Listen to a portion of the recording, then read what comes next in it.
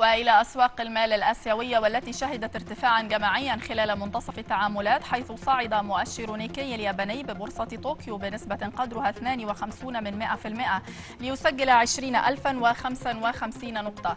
كما ارتفع مؤشر هانغ سينغ الصيني ببورصة هونغ كونغ بمقدار 46 من 100% ليسجل 27690 نقطة.